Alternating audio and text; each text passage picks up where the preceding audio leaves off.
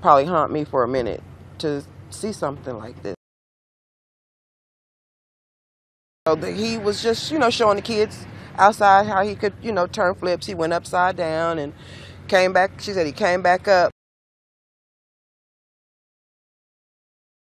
She waved at him. She waved at him before he crashed.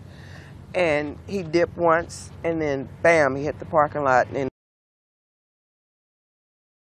No, there was nothing nobody could do but call 911 and wait.